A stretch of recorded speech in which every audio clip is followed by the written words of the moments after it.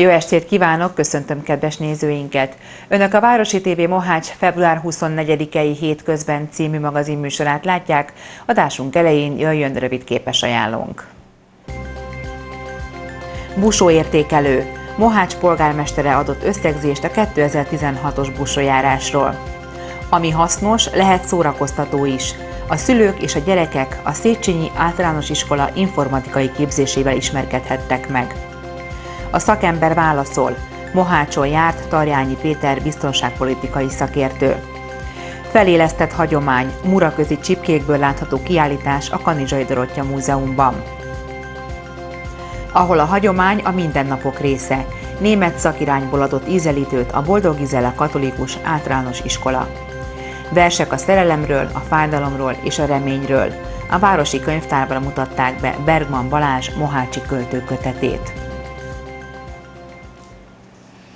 Évről évre jobb a búsójárás megítélése, és örvendetes tendencia, hogy egyre több fiatal érdeklődik a beöltözés iránt, fogalmazott Szekó József. A Mohácsi városvezető hivatali dolgozószobájában fogadta stábunkat és értékelte a 2016-os Maszkos Télőző Fesztivált, mely nem csupán hungarikum, de az emberiség szellemi, kulturális örökségének is a része. Jó hírét keltették Mohácsnak a busók és a beöltözött sokaclányok, mondta el a busójárást összegző interjújában a Városi Televíziónak Szekó József. Mohács polgármestere a beszélgetésben kiemelte, mindezt nem csupán saját tapasztalataira, de a hozzá eljutott visszajelzésekre is alapozza. A busók jól szerepeltek, tehát úgy gondolom, hogy, hogy az a, a busó társadalom, busók és a, a szép busók, sokaclányok, különböző alakoskodók, akik a tradíciókhoz hülyen vettek részt a busójáráson, akár öltözet vonatkozásában, akár a viselkedési kultúrát illetően, ők, ők kiválóan viselkedtek, jól szerepeltek, és a Mohácsnak jó hírét, jó hírét keltették. Tehát ezt egyértelműen ezt a következtetést le lehet vonni, nem csak abból, amit amit tapasztaltam, vagy tapasztalhattunk, hanem a, a különböző visszajelzésekből is, tehát a, az ide látogatott vendégek, küldöttségek, delegációk véleményéből, tehát abból, ahogy, ahogy ők a busajárásról nyilatkoztak, de, de abból is, amit a médiában olvasni lehetett, ami megjelent itt ott írásokban. Tehát én azt gondolom, hogy, hogy a, a busajárás megítélése az, az, az évről évre jobb. Az egy más kérdés, hogy, hogy mi magunk nyilván azért minden évben látunk olyan dolgokat, amiken lehet javítani, felmerülnek új és új problémák, amiken, amiken a következő évet illetően változtatni, módosítani kell, ezt a, a busócsoportokkal, a résztvevőkkel megbeszéljük, levonjuk a tanulságokat pontosan azért, hogy, hogy, a, hogy a busójárás az, az évről évre jobb legyen, és hát folyamatosan fejlődjön, de úgy fejlődjön, hogy, hogy, hogy hű marad a hagyományokhoz, a tradíciókhoz. Önmagukban nem a számok lényege, csak természetesen, és egy ilyen nagy tömegrendezvénynél nehéz is megbecsülni azt, hogy pontosan mennyien vannak, vagy akár csak hozzávetőlegesen mennyien vannak. Mégis vannak erre beslések, hogy 2016-ban a Mohácsi busójáráson, akár a hat napban összesen, vagy az úgynevezett főnapján, a hagyományosan főnapnak tekintett vasárnapon mennyien járhattak itt városunkban? Még folyik a, a kiértékelés, most ebben az évben először készült ö, olyan, ö, olyan felvétel is, egy drón segítségével, ami, amikor is a, a nyomon lehetett, nyomon követte a, a felvétel a busók felvonulását, a Sokacrévtől kezdve egészen a Kólótérig, és utána be a, a főtérig. Látszik a, a felvonulás, látszik a, a tömeg, még folyamatban van a, a felvételek kiértékelése. Ez alapján is, de a, a, a benyomásaink, a tapasztalatok alapján is azt nyugodtan kijelenthetjük, hogy a, a hat nap alatt, tehát az idei busójárás hat napja alatt annyi ember volt Mohácson, mint még soha. Az is biztos, hogy ez, ez 100 ezer főt jóval meghaladó létszám lehetett ez alatt a, az időszak alatt. Nyilván Nyilván vannak átfedések, tehát abban a tömegben, amit észlelhettünk szombaton vagy, vagy kedden, abban voltak ugyanazon személyek, akik vasárnap is itt voltak, de, de jó néhányan voltak olyanok, akik, akik nem tudtak folyamatosan itt lenni a busojáráson, csak a hétvégére tudtak eljönni, de úgy, hogy vasárnap délután már például nem vettek részt a forgatagban.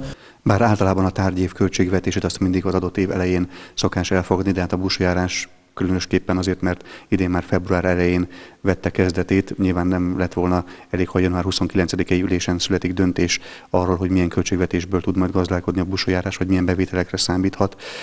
Ezért már 2015 novemberében megszületett a busójárás költségvetése. Milyen számokból lehetett gazdálkodni?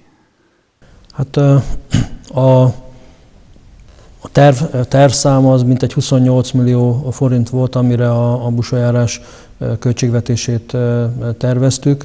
Hát ez, ez valahol, valahol 30 millió forint körül fog megállni, még, még ennek a kiértékelése is folyamatban van, hiszen még, még vannak olyan számlák, amik, amik mostanában érkeznek, érkeznek be, tehát a, a, a bevételek is még, még, még innen-onnan csordogálnak, tehát az összesítés után tudunk majd, majd ilyen vonatkozásban egy végső egyenleget, mérleget készíteni.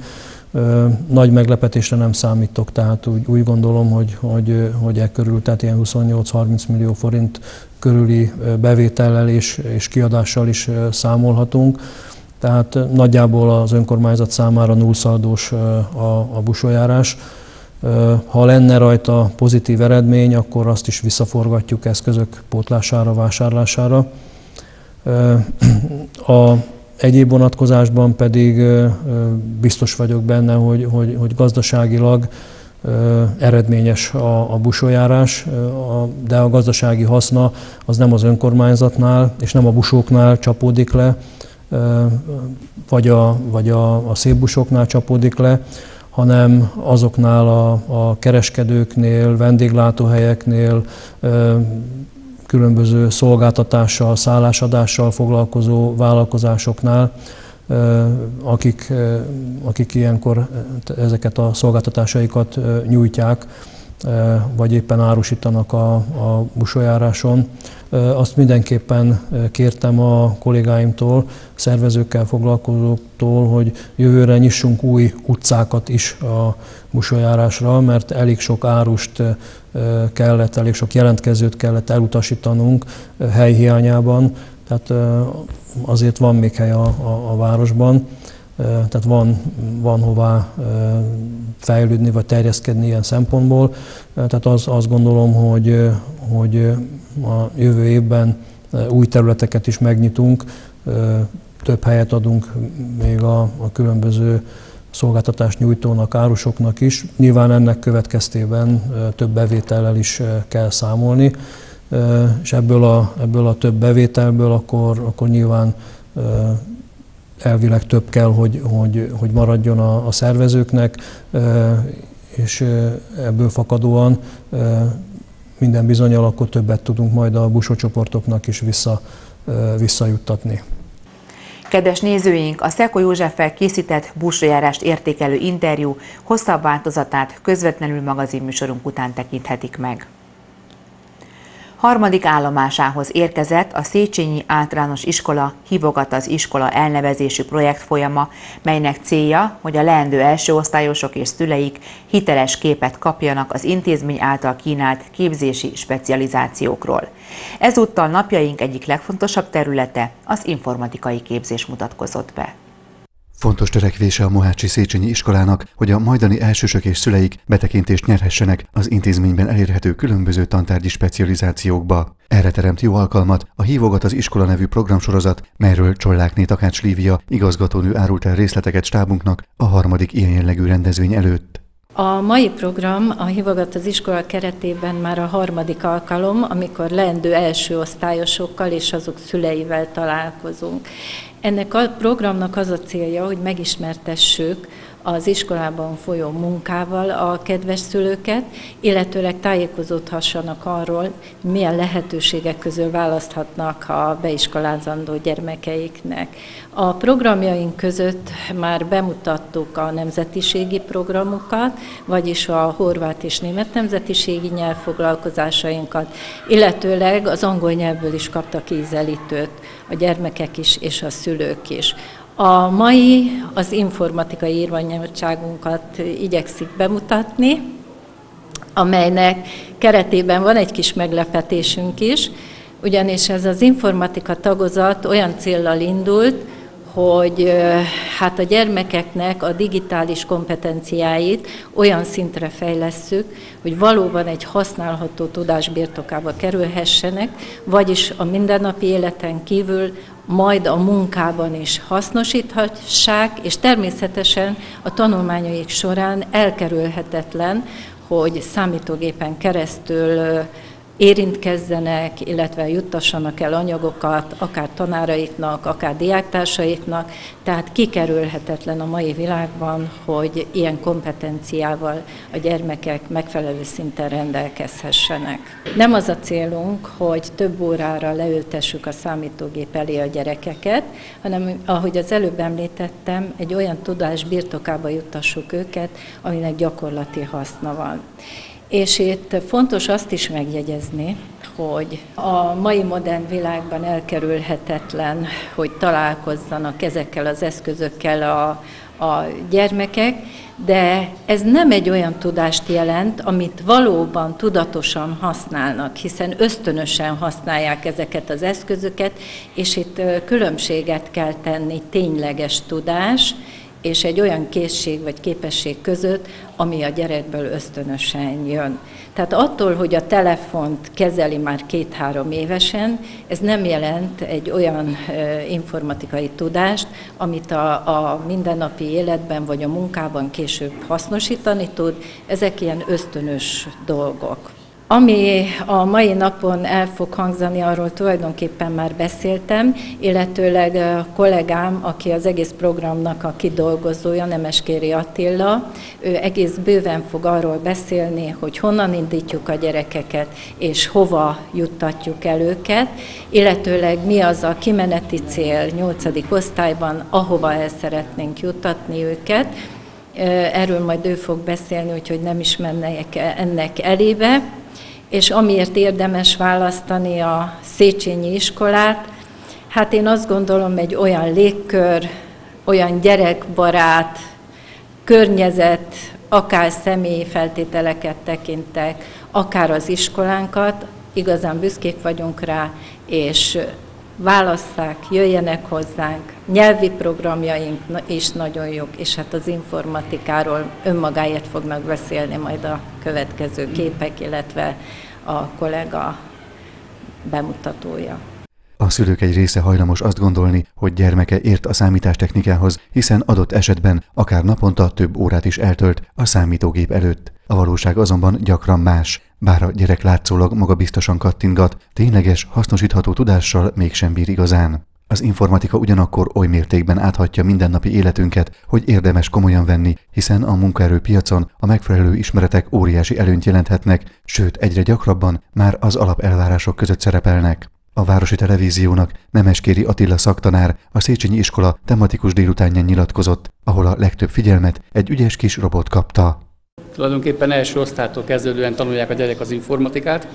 A fő célunk az, hogy a 8. év végére ECDL vizsgával rendelkezzenek. Ez egy európai számítógép használói jogosítványról, jogosítvány tulajdonképpen, amit bárki megszerezhet, hogyha bejelentkezik egy ilyen ECDL vizsgaközpontba. Mi elsőtől kezdődően nem tanítunk direktbe informatikát, hanem fejlesztésekkel foglalkozunk, fejlesztő feladatokat oldanak meg a diákok, eközben tanulják meg azokat a felhasználó ismereteket, amelyekkel végül első osztály végére gyakorlatilag önállóan tudják már használni a számítógépet. A második osztálytól kezdődően tanítunk informatikát, grafikával, alkalmazó ismeretekkel és a Windows-zal foglalkozunk. Most a ötödikesek a legidősebbek, tehát öt éve foglalkozunk már az informatika tanításával tagozati szinten. Az ötödikeseknek már heti három óra informatikájuk van. Ezt most úgy osztottuk be, hogy az egyik órán, egy héten a Windows ismeretekkel foglalkoznak, mint bárki más.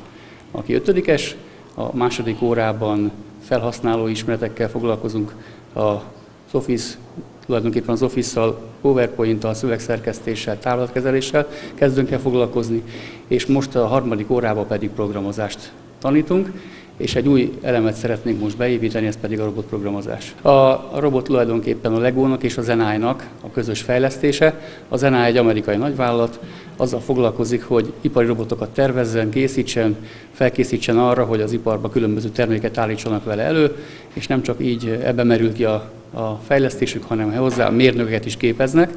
Ennek a projektnek a része, hogy létrehoztak egy ilyen robotot, ezt meg lehet vásárolni, bármi egy játékboltban megvásárolhatja, tulajdonképpen az a lényege, hogy a gyerekek már most megismerkednek ennek a használatával, programozásával. A robotba háromféle, három különböző motort van beépítve, illetve természetesen olyat építünk be, amihez szeretnénk, illetve érzékelők vannak elhelyezve. És tulajdonképpen megismerik azt a programot, amelyre ezt lehet programozni. A robot azt csinálja, amit tulajdonképpen beprogramoznak, és ezek a, ez a programozás gyakorlatilag úgy működik, mint a valóságban az ipari robotoknál. Tehát az államnak is az volt ebben a célja, hogy tulajdonképpen a jövő mérnökeit már az iskolában megtalálják. A programozás maga nagyon jó, mert az algoritmikus gondolkodás a logikus gondolkodásnak része, fajtája, tehát mindenképpen szerettük volna ezt megismertetni. Ez a, ez a robot arra hivatott, hogy ezt játékosan tegyük meg, és nem egy száraz grafikus vagy egyéb programozási felületet látnak, hanem tényleg látják működni azt, amit ők kitaláltak, meg, megterveztek és meg is valósítottak. Tehát nem a levegőről beszélünk, hanem megtervezik a munkafolyamatot, elvégzik a programozást, és utána meglátják az eredményét, hogy kipróbálják a robottal azt, amit csináltak tulajdonképpen. A Mohácsi Széchenyi Iskola informatikai képzési specializációja mutatkozott be a napokban a leendő elsőosztályosoknak és szüleiknek. A hívogat az iskola elnevezésű projekt folyam célja, hogy az érdeklődők hiteles képet kapjanak az intézmény által kínált kiemelt képzési területekről. Hazánk egyik legismertebb biztonságpolitikai szakértője Tarjányi Péter a közelmúltban Mohácsra látogatott a közéleti klub meghívására. A szakember, aki a fórum keretében a közönség kérdéseire is válaszolt, a rendezvény előtt nyilatkozott a Városi Tévéstábjának. A több évtizedes nemzetbiztonsági és rendőrségi tapasztalattal rendelkező Tarjányi Péter katonai, rendőri, valamint tanári diplomája mellé közgazdasági végzettséget is szerzett, és gyakori szereplője számos országos médiumnak. A szakember ugyanakkor szívesen vesz részt vidéki beszélgetős fórumokon is. Stábunknak Mohácsi látogatásakor nyilatkozott arról, milyen feladatok várnak Európára 2016-ban biztonságpolitikai szempontból komoly veszélyben van Európa. Én azt gondolom, hogy megváltozott a világ teljes egészében. Tudomásul kell venni azt, hogy Európára teljesen más biztonságpolitikai kihívások várnak.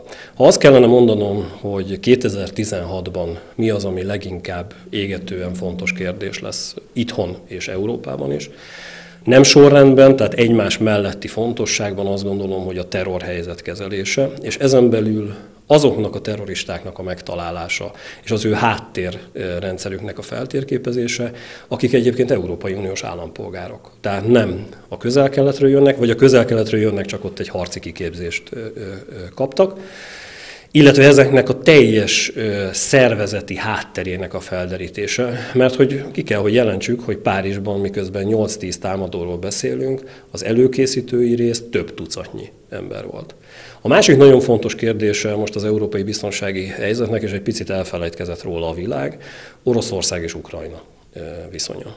Tudomásul kell venni azt is, hogy Putyin elnök, amikor Oroszországról beszél, akkor a Szovjetunióról álmodik. Tehát abszolút birodalmi gondolkodásmódban közelítenek mindenhez, és az, ami a 90-es évek elején, amikor azt hittük, hogy vége a hidegháborúnak, egyfajta ilyen ábrándként kép, ábrándképként vagy utópiaként a fejünkben élt, mi valók, valóságként éltük meg, ez is teljes egészében megváltozott. És hát a harmadik problémakör, ez a menekült migráns helyzet, ami azt gondolom, hogy fokozódni fog. Nem hiszem, hogy kevesebben jönnének, vagy annyian jönnének, mint tavaly. Szerintem sokkal, sokkal többen jönnek. És hát ennek számtalan biztonságpolitikai és rendészetpolitikai problémaköre van. Ez a három az, ami áthatja Európát. Ennek minden része Magyarországra is hatással bír, és hát nyilván mindegyik másfajta intézkedési lépéssorozatot igényel. Én azt gondolom, hogy ezek azok a kérdések, amivel foglalkozni kell. Önnek egyik szakterülete a krízis kommunikáció. Hogyha most azokra a helyzetekre gondolok, amikor ugye filmekben például látjuk, hogy a repülőgépen addig van nyugalom, amikor a stewardess azt nem mondja, hogy semmi ok pánikra, vagy a pilóta ezt nem mondja, akkor valóban hogy lehet megközelíteni ilyen szempontból a krízis kommunikációt? Mi az ön meglátása szerint mondjuk akár a média felelőssége vagy szerepe, vagy a politikusoké ebben a helyzetben? Nézze, vékony jég a tájékoztatás és a pánikokozás közötti különbség és a köztük lévő határ. Én azt gondolom, hogy az mindenképpen nagyon fontos, hogyha egy kormányzatnak precíz, ellenőrzött információi vannak egy kérdéshez kapcsolódóan, és most bármelyiket mondom ebből a háromból, amit az előbb felsoroltam, akkor egy jól átgondolt kommunikáció mentén, sem nem fölturbózva, sem nem lecsökkentve és letagadva bármit is, azt mondanám, hogy egyfajta tájékoztatási kötelezettsége van. Na ez az, ami egyébként nálunk nem működik egyáltalán. Hozzáteszem halkan, hogy nem csak nálunk, tehát Európa minden részében a belpolitikai játszmák, most nevezzük így, mindig áthatják ezeket a, a, a helyzeteket, hiszen nyilvánvalóan egy válsággal lehet olyan irányba terelni, most ezt idézőjelben mondom az embereket, hogy hogy, hogy összefogjanak, és hát tudomásul kell venni, hogy szükségállapotban vagy válsághelyzetben általában kormányok nem szoktak megbukni. Tehát ha baj van, akkor minden egyéb dolog felülíródik, a média sem a mindennapokról tájékoztat, hanem csak arról, és itt most ne terrorról beszélünk, akár egy árvíz is, ha már itt vagyunk Mohácson, tehát itt azt gondolom jó párszor ezt átélték. Tehát, és innentől kezdve az egyéb olyan problémák mind-mind a szőnyeg alá söpörhetők. Nézze, egy politikusnak egy ilyenfajta helyzet egyik oldalról felelősség, a másik oldalról lehetőség. Mennyire van elkésve Európa a helyzet kezelésében, a terrorhelyzet, a fenyegetettség kezelésében? Értem ezt úgy, hogy sokáig úgy tűnt, mintha igazából itt a nemzetállamok egyenként reagáltak volna így, úgy, amúgy, és nem volt egységes uniós fellépés. Pontosan erről van szó, és egyébként az előadásom is erről fog szólni, úgyhogy nagyon szívesen, mert hogy az első gondolatok pont erről szólnak. Európa elaludt, és a legfájóbb dolog az, hogy Egyébként 2013-ban, 2014-ben Magyarország is, félreértés ne rendelkezett minden olyan információval, ami kvázi a tavalyi 2015-ös eseményeket, ha nézzük, precíz előre tájékoztatásokkal, előre jelzésekkel abszolút jelezve volt a politika számára. Azt kell látnunk, hogy ehhez kapcsolódóan sem a németek, sem a franciák, sem senki és mi sem léptünk időben. Ez azért eléggé komoly problémákat okozott. Én azt gondolom, hogy a nézők ezt pontosan látták. Fokozódni fog a migráns helyzet 2016-ban, mondta el a Városi Televíziónak Mohácsi látogatásakor Tarjányi Péter, biztonságpolitikai szakértő, aki hozzátette, ami a szituáció kezelését illeti, Európa elaludt, miközben rendelkezett a szükséges információkkal. Tarjányi Péter nemzetbiztonsági szakértő Mohácsi előadásáról hírmagazinunkat követően láthatnak összefoglalót itt a Városi TV Mohács csatornáján. A 2016-os búsajárás egyik kísérő rendezvényeként nyílt kiállítás muraközi csipkékből a Kanizsai Dorottya Múzeumban. A március elejéig látható tárlat egy olyan hagyományt mutat be, melyet a térségben szinte az utolsó pillanatban mentettek meg, és mely azóta ismét virágkorát éli. Vesna Haluga, a Horvát Köztársaság Pécsi főkonzulja is részt vett annak a kiállításnak a megnyitóján, mely a kézzel készített muraközi csipkeművészetből ad ízelítőt. A Kanizsai Dorottya Múzeumban megrendezett tárlat megnyitóján az intézmény vezetője, dr. Ferkov Jakab üdvözölte a közönséget, majd a Pokláde zenekar és Graf Vivien produkciója idézte a búsójárás hangulatát.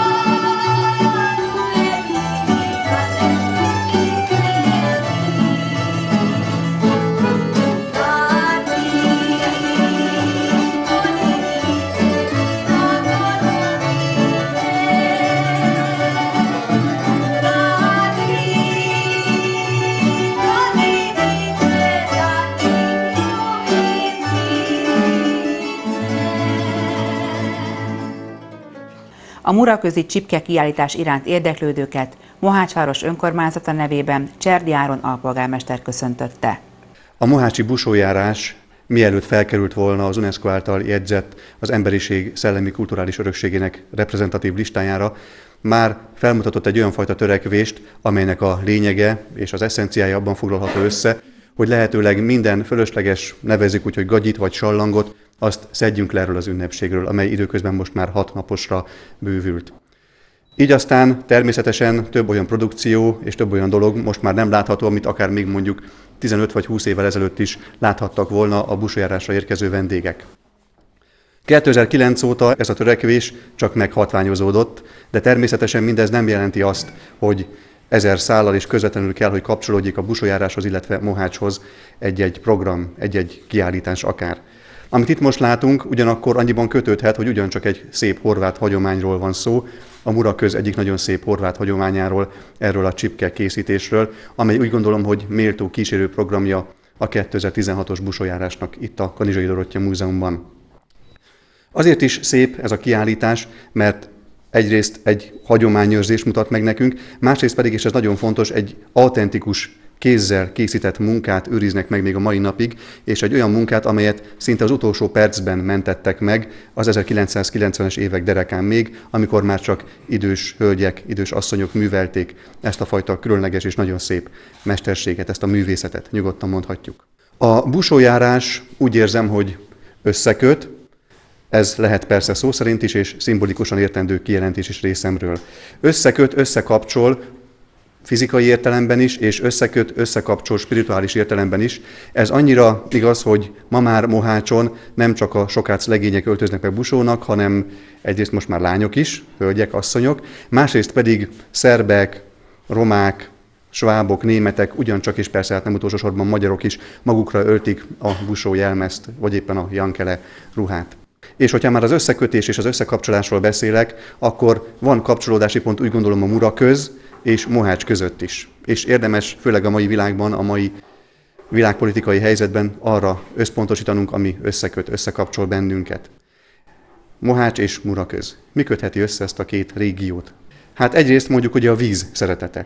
Ez itt van. A víziturizmus, a kajak, a kenu náluk is adott. Aztán ott van a kerékpározás. A Mura közben rengeteg szép kerékpárút látható. Ott van a horgászat, hogy csak egy ilyen újabb, egyszerű és nagyon kézenfekvő dolgot mondjak.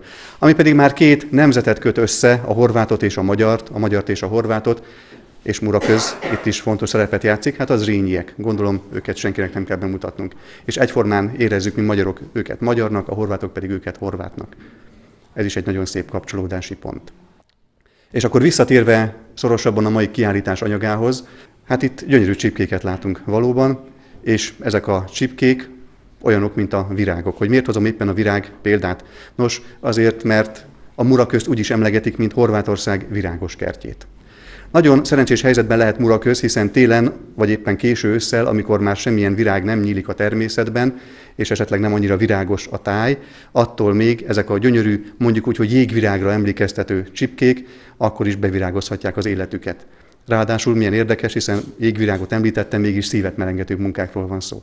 Én kívánom azt, hogy ezeket a gyönyörű alkotásokat akár többször körben menve, alaposan megszemlélve is nézzék meg, és akár fedezzék fel bennük a virágmotívumot is például, ami többször visszaköszön, ha már muraköz és Horvátország virágos kertje. És még egy nagyon szép vonatkozása van ennek a mai kiállításnak, ez pedig a fehér szín, ami a tisztaság színe, az egyszerűségé és az őszinteségé. És úgy gondolom, hogy ebben a művészetben, ahol gyakorlatilag egy-két aranyszálat leszámítva egyik-másik alkotásban csak a fehér dominál, a mai világban ez is már önmagában egy szimbolikus érték. Köszönöm figyelmüket, és kívánom, hogy érezzék a kiállítás során azt a fajta melegséget, azt a szívet melengető érzést, amelyet én is éreztem a mai napon, amikor megnéztem a kiállítás anyagát. Március elejéig látható Mohácson a Kanizsai Dorottya Múzeumban az a tárlat, mely muraközi csipkékből válogat. A kiállított darabok különlegességét és egyediségét az adja, hogy mindegyiket hagyományos módszerrel kézzel készítették. A Mohácsi Katolikus Nevelési Központ mindkét iskolájában nagy hangsúlyt kap a német nyelv és a nemzetiségi ismeretek oktatása. A Boldog Izella Katolikus Általános Iskolában a napokban adtak ízelítőt a tanulók megszerzett tudásukból. Eszközkészítés, népviselet és faliterítő kiállítás, régi napokat idéző fotók, csak néhány jellemzője a Mohácsi Boldog Gizella Katolikus Általános Iskola 2016-os Német Nemzetiségi Projekt napjának. A programnak ezúttal is részét képezte a tanulók bemutatója, ki énekkel, ki tánccal, ki pedig rövid kis színdarabbal lépett a tornateremben felállított színpadra. Bőmlékró Katalin intézményvezetőt a projektnapról és a nemzetiségi nevelésről kérdeztük. Német nemzetiségi nyelvet tanítunk az iskolában. Fontos számunkra, hogy a hagyományokkal, a népdalokkal, a németség ételeivel, a népszokásaival, a ruházatával ne csak a tanórákon ismerkedjenek meg a gyerekek, erre van nekünk egy külön tanóránk, a népismereti tanóra, hanem egy kicsit kötetlenebb formában is megéljék mindazt, amit az előbb elmondtam. Éppen ezért két évente német nemzetiségi projektnapot szervezünk a számukra. A délelőtt nem a hagyományos tanítással telik ilyenkor, hanem az egyik órában népdalokat tanulnak, a másik órában táncra, néptáncra van lehetőségük, arra is, hogy kezükbe fogják a népviselet egyes ruhadarabjait, sőt, föl is próbálják, interaktív feladatokat oldanak meg például, de a nagyoknak ma arra is volt lehetőségük, hogy egy régi német eh, ételreceptet, eh, illetve egy ételt elkészítsenek, és meg is kóstoltassák. Ez a sufnudli volt. Mit szóltak a sufnudlihoz a gyerekek? Hogy ízlet nekik ez? Mindenki kapott belőle kóstolót egy kis tálkában, nagyon ízlet. Egyébként kapunk mi ilyet az iskolai konyhán is, de ez azért mégiscsak más, mert a gyerekek maguk gyúrták a tésztát, maguk sodorták ki a, a, az egyes tészta darabkákat, maguk szórták meg porcukorral, még a krumplit is ők hámozták hozzá. Tehát amit maga készít az ember, abban ben van a saját munkájának a, a gyümölcse, az élvezete is.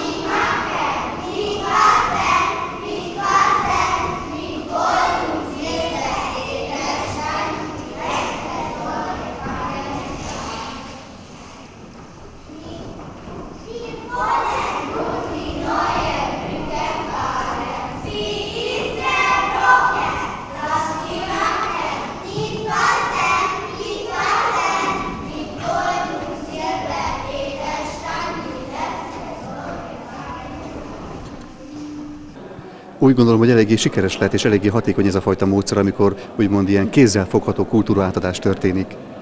Igen, azt gondolom, hogy sokkal élénkebb, ha az ember maga élheti meg azt a tevékenységformát, amit máskor esetleg egy pedagógus közölne, vagy televízióban látna. Tehát az egyéni megtapasztalás sokkal többet ér, sokkal többet jelent, mint a szóbeli közlés. A gyerekek otthonról hoznak ilyen típusú tapasztalatokat, ami összefügg mondjuk a svábsággal, a németséggel? Azt mondhatjuk, hogy egyre kevesebbet, ha bár reggel, amikor egy anyukát, bocsánat, egy nagymamát és egy dégy nagymamát köszöntöttem, még sváb nyelven. Megkérdeztem a gyerekeket, hogy érti-e valaki. Hárman jelentkeztek, sőt, amikor egy kicsit humorosabb mondatot mondtam, akkor nevetett is egy kislány. Tehát örülök annak, hogy a csírája valahol még nem sok, de néhány gyerekben ott van.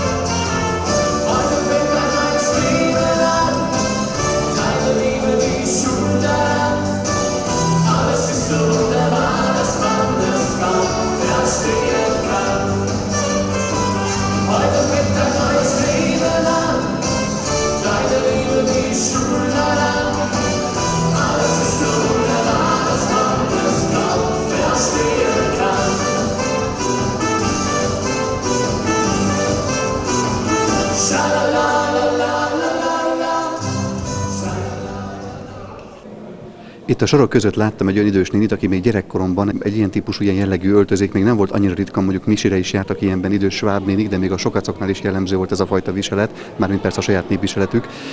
A hölgy milyen szerepet töltött itt be? Csak nézőként érkezett ebben a gyönyörű szép Volkstrachtban népviseletben? Egy gyermekünknek a déd nagymamája, kollégánknak a nagymamája, Őt meghívtuk, ugyanúgy, ahogy többen voltak segíteni például az ételreceptet is elkészíteni.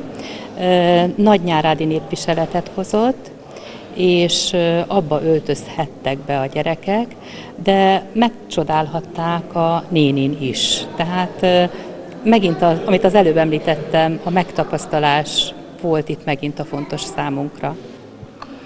A népismeret, illetve mondjuk úgy, hogy a hagyományok és bizonyos értelemben akkor egy ilyenfajta Volkskunde jellegű képzés, ami itt kapható, és igazából nem is érzi gyerektelen tanulásnak, hanem sokkal inkább egyfajta, ahogy beszéltünk erről, egy direkt tapasztalatnak. Ez bizonyára nagyon fontos, de hát azért azt sem lehet elhanyagolni, mert hát nyelvvizsga lesz később, és egyetemi felvételi, és így tovább, ahol azért a Hochdeutschot, ugye az emelt, az irodalmi németet kell majd beszélni.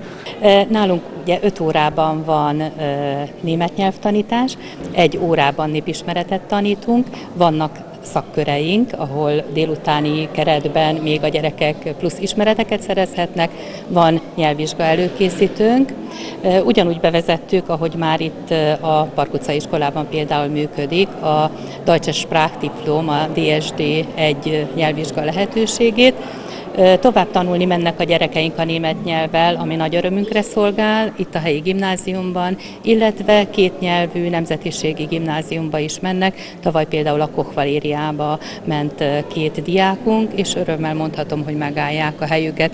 Ezen kívül nyáron németes hittanos tábort szervezünk, ahol szintén lehetőség nyílik még a nyelvismeret bővítésére, illetve ugyanolyan kötetlen, lazább, játékosabb formában való megtapasztalásra, ahogy így a mai nap is sikerült.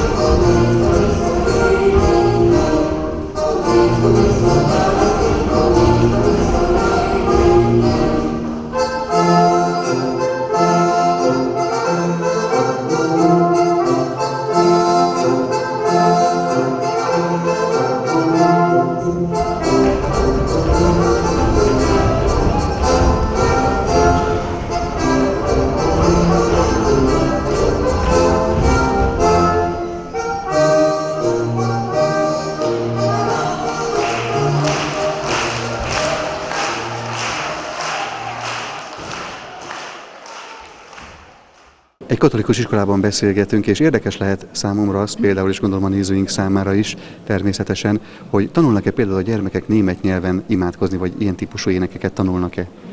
Igen, ez a mi helyi tantervükben szerepel. A mi atyánkot természetesen az üdvözlégyet úgy szintén, és még számos imát, tehát az étkezés előtti, étkezés utáni imát el tudják mondani minden további, néme, minden további nélkül németül is, de amikor éppen az előbb említett nyári németes hittanos táborra van lehetőségük, akkor megtanulhatják a Szent Misének a válaszait is például németül, német énekeket is tanulhatnak hozzá, tehát erre is figyelünk. A délelőtt zárásaként miről fog szólni ez a műsor itt a színpadon? Egy közel egy órás, inkább több, mint egy órás kulturális műsor fog most következni. Ez zárja tulajdonképpen a napot. Szinte minden osztály felkészült valamivel, láthatunk modern táncot, láthatunk hagyományos népi játékokat, népdalokat hallhatunk, harmonikajáték is lesz, színdarab is lesz, tehát tulajdonképpen tánc, tánc természetesen. Egy kis kóstoló abból, amit a gyerekek évközben tanultak, meg még amivel plusz erre a napra készültek.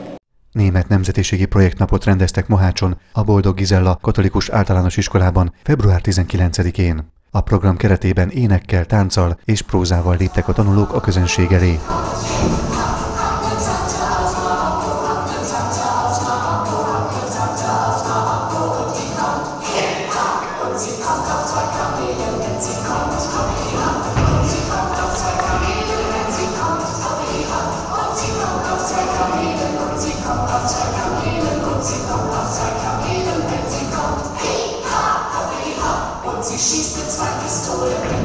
Und sie schießt mit zwei Pistolen, wenn sie kommt. Und sie schießt mit zwei Pistolen, und sie schießt mit zwei Pistolen, und sie schießt mit zwei Pistolen, wenn sie kommt. Hi, ha, ho,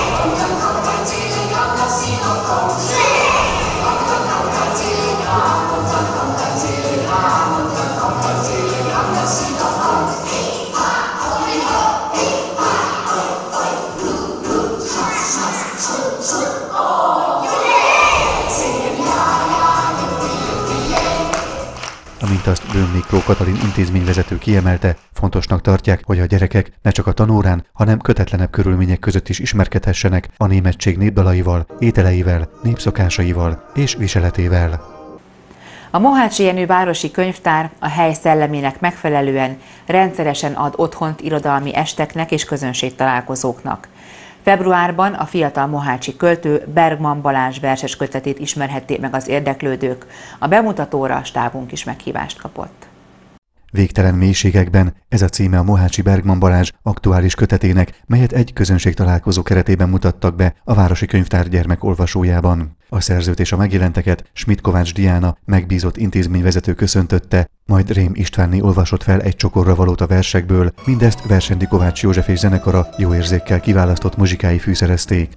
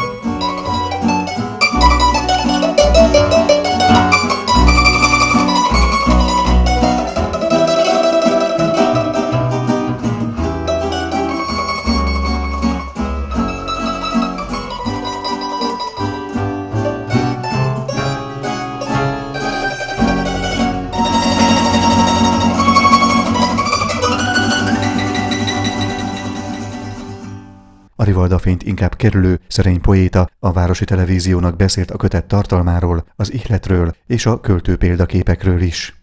Száz verset tartalmas, hát tulajdonképpen szerelmes versek vannak benne, de megtalálható benne más, más jellegű versek is. Ezek most szerelmes versek, de a verseidnek a tárházánél jóval gazdagabb, jóval szélesebb. Kik azok, akik igazán hatottak rád? Hát tulajdonképpen ez összes nagykövető, ugye Adi André József Attila, tényleg mindegyiket nagyon-nagyon szeretem, és hát tulajdonképpen az élet maga, ami, ami inspirált nagyon-nagyon. Ha a téma a szerelem, és Adit vagy József Attillát vesszük elő, vagy akár mondjuk még Juhász Gyulát is ide sorolhatnánk, így hirtelen, például a verseket olvasva legalábbis nekem ő is visszaköszönt egy-egy sorban, vagy egy-egy gondolatban, akkor ők azért eléggé mélyen élték meg a szerelmet, és eléggé intenzíven, és ezt a költészetük igazán vissza is tükrözi, ezért is talán végtelen mélységekben a kötet címe. Így van, így van, így van. Én is így, így értem át, hogy a legmélyebb szerelem volt ez, és hát tényleg ez, ez született meg belőle ez a kötet. Nem leszek más. Az vagyok, aki vagyok. Szeres így vagy utálj. Nem húzok állarcot, nem leszek mű. Szeretlek, tudod jól. Most kell dönteni. A holnap nem biztos, a jelenbe szeretlek. Nem leszek más. A szívem tiszta. Nincs semmim, csak egy tiszta lélek. Kérlek, vigyázz rám. Én is vigyázok rád. Bennem vagy, és én benned. Egyek vagyunk örökre. Ezek a versek fontosak-e, hogy hogy születnek? Úgy értem, tulajdonképpen ezeknek valamilyen fajta olyan típusú jelentőséget, hogy honnan jön a sugallat, az ihlet? É, tulajdonképpen mindig máshonnan. Ugye az életből néha úgy is érzem, hogy kapom őket, és legtöbbször az érzésekből. Tehát így a, tényleg mindenhonnan. Egy, egy virágtól, tele mindenből tulajdonképpen. Mennyire gyorsan elkészülő versekről beszélhetünk, vagy mennyit kell még ezeken utána csiszolgatni, javítgatni, mielőtt úgymond kimered adni a kezedből? Ez is változó, valamelyik ugye tényleg nagyon hamar kész lesz, valamelyik pedig kicsit több idő. Átlagban mit jelent mondjuk ez? Hát valamelyik akár egy-két nap is lehet, valamelyik pedig egy fél perc alatt meg. Akár fél perc? Igen, igen. És akkor ugye átnézem, hogy nincs benne hiba. Tehát így ezek tényleg így jönnek, így ki kell, hogy jöjjön belőlem tulajdonképpen. Mennyire fontosak számodra mondjuk a verstani szempontok, gondolok itt a ritmikára vagy a rímekre? Én azt tartom így előnyben tényleg, hogy így, amit, ami jön, azt így kiírja magamból, és annyira nem a rímekre koncentrálok, inkább az, hogy ami bennem van, azt így ki tudjam írni. Ez szabad verseknek nevezik tulajdonképpen, és hát ez, ez az első szempont tényleg, hogy ezt így lehet tudjam én, és amit érzek, az ki is jöjjön mindjárt rögtön. Nincs nékem semmim, csak az arcod villant fel előttem olyan szeliden éjszaka. Diófa alatt lágyan simogat egy szellő. Nem tudod, mit akarsz, csendes hold. Eljönnek a felhők a napért. Későn keresed, majd nem lelet többé. Te édes, bájos, szelid angyal. Most ne kérdezz, csak ölej át. Azt, hogy felfedeztek, azt minek köszönhetett szerinted, és kiknek? Hát elsősorban Bartók Anikónak, ugye a Bacsony Cserrent művészkörben, és Lovagból nem is Attilának. Ők figyelemmel kísérték ugye a munkáimat, és akkor az Anikó írt nekem, és így fedeztek fel egy, egy verses csoportban tulajdonképpen. Ha jól tudom, akkor már egy szép elismerés is társul ehhez a ifjú kezdeti költői pályához. Igen, ez, ez is toklevelet kapta, aminek nem is számítottam, nagyon örültem neki. És hát ez tényleg az bizonyította, hogy, hogy érdekli az embereket, és hát talán amennyi tehetségem is van hozzá. A ma bemutatásra kerülő kötet fő témája a szerelem, nem is általában, hanem egy konkrét személyhez köthető szerelem, hogyha jól láttam a kiadványt. De ezeken kívül melyek azok a témák még, amelyek, ha ebben a kötetben nincsenek is benne, de foglalkoztatnak és megjelennek a verseidben, fontosak számodra?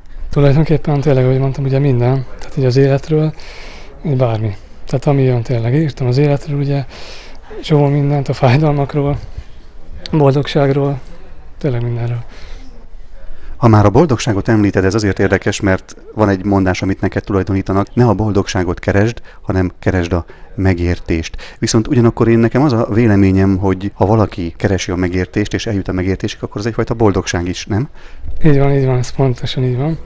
Egyébként ez egy rövidítés egy idézetben, amit írtam, és tényleg én úgy gondolom, hogy ha valaki megért bármilyen szituációt, és azt átérzi, és el tudja engedni, akkor az attól boldogabb lesz, ha megért, hogy miért kapta. Azok a költők, akiket említettünk, akár Adi Endrét, Juhász Gyulát, vagy éppen József Attillát, nem mondhatnánk, hogy könnyű életekről van szó, vagy mondjuk úgy vörös szőnyegen sétálták végig az életüket. Számodra mennyire meghatározó az, hogy az életedben is voltak azért varga betűk, nehézségek, buktatók? Ez nagyon meghatározó, mert ugye a gyerekkorom az nagyon-nagyon nehéz volt. Azt elárulhatom, hogy 17 éves koromban meghalt anyukám, ővel különleges kapcsolatban voltam, nagyon-nagyon szerettem, és hát szerintem minden is kezdődött ez az egész. És igen, ez fontos. Pihekönnyű álmok. Pihekönnyű álmok, vadászom rátok. Rajtam ül egy átok, engem hiába vártok. Pihekönnyű álmok, rettentően fázok. Sárba mászok, mély gödörben állok. Pihekönnyű álmok, boldogságra lá- boldogságot látok, de tudom, áltattok.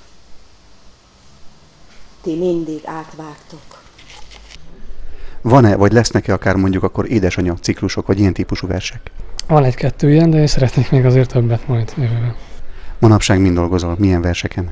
Hát nekem azt tudni kell, hogy van egy, még egy kötetem, a Fény felé címmel, és hát elkezdtem most egy újat, az ideit. Hát az is mindenféle, mindenféle vers van benne, szerelemtől kezdve, mindenféle. Végtelen mélységekben című kötetét mutatta be a közönségnek Bergman Balázs. A fiatal mohácsi költő versgyűjteménye kereskedelmi forgalomban nem kapható, a Városi Könyvtárban viszont olvashatják az érdeklődők a kiadványt, mely a szerelmes versek mellett sok más ihletésű költeményt is tartalmaz. Kedves nézőink, ezzel ma esti magazinműsorunk véget ért, legközelebb jövő héten szerdán ugyanebben az időpontban várom Önöket a viszontlátásra.